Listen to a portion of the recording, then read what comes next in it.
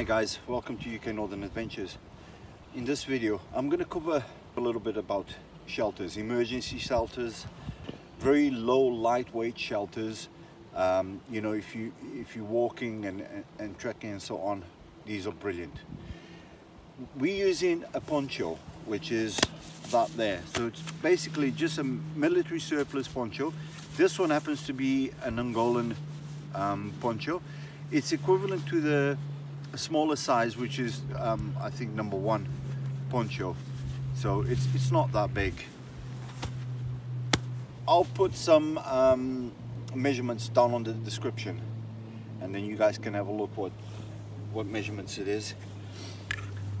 Also the army surplus tent poles for the poncho.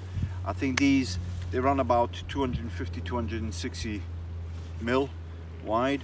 Um, they're made and designed for the poncho. So all you need is two of these, two, two sets of these. Or you can use walking sticks, hiking sticks and, and stuff like that.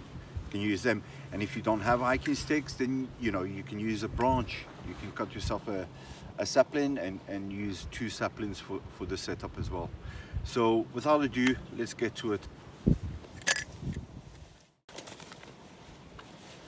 Okay, I just stole my bag, um, but never mind, it's okay. Let's get it out.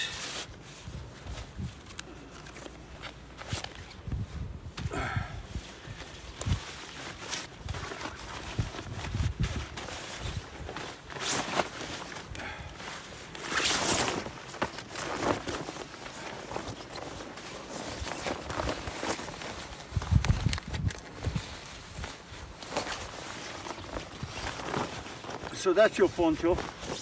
Um, now, shelter-wise, a lot of you, if you hiking and, and you're in the rain and so on and you need something as an emergency, you can always rely on your poncho.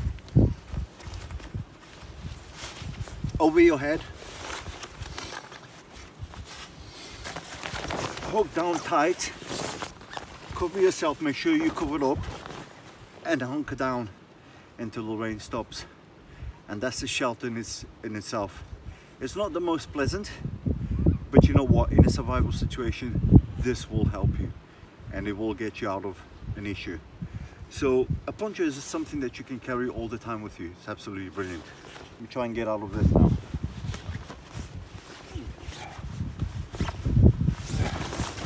It does get quite warm in there. These ponchos are normally referred to as sweat boxes because they do get quite warm. So when you want to do a shelter, so if you're staying overnight or something like that, and um, you want to lie down, if you've got a bivy, which works very nice with this setup if you've got a bivy bag, um, the first thing you need to do is tie the hoodie up, tie it up together get a nice little ball there. And essentially what happens is that stops any water ingress coming in there. Always let the wind do the work.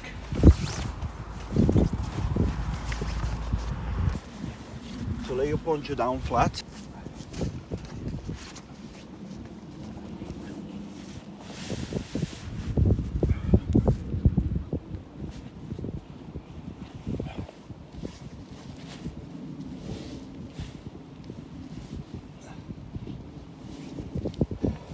Point.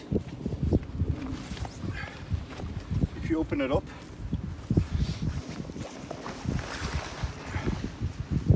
get your bivy.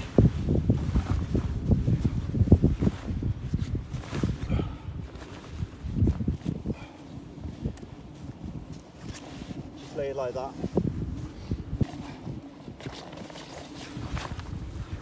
Bring your shelter over your bivy bag.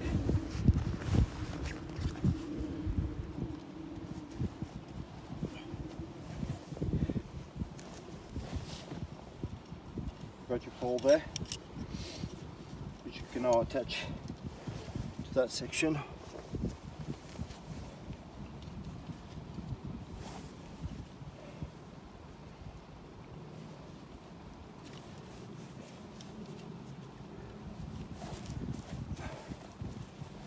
tie it off there.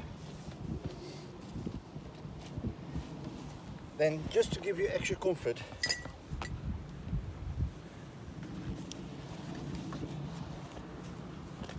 just a little bit more head height.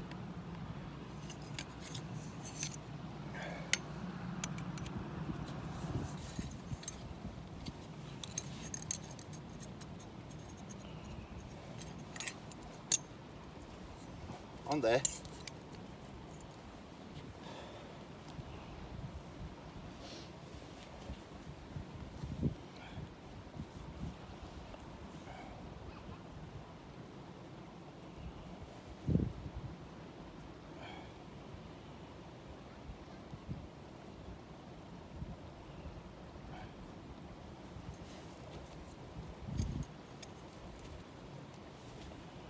There you go.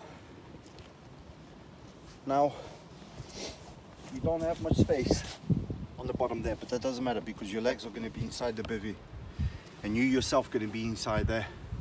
And you, you know, the lower the shelter is, the more warmth you're going to get. So basically, as a survival shelter, that's a brilliant shelter.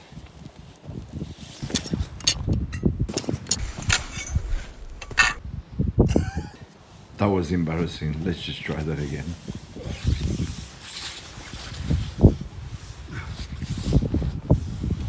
Right. So as you can tell, I'm quite comfortable here. I'm inside. I can get inside the bivy bag. And if I got a sleeping bag or something like that, then I can get in that as well. And right over here, I can actually make a tiny little small fire, which is going to increase the heat and the warmth inside the shelter. So as a survival shelter, this is a brilliant shelter. There are numerous amounts of shelters and different setups that you can do with a poncho.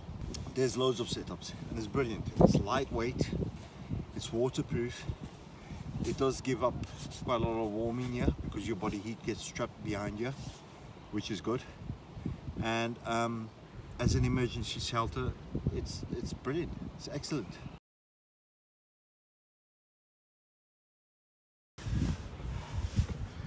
As I was saying, this is another typical setup. So, you know, the best I would say is um, get a poncho and just try different setups and get a setup that you like. This typical setup here, I'll suggest for, for summer. I wouldn't suggest this for winter setup. But hey, if it suits you, then go for it. A poncho, versatile, warm, and light. I think we're getting one. See you.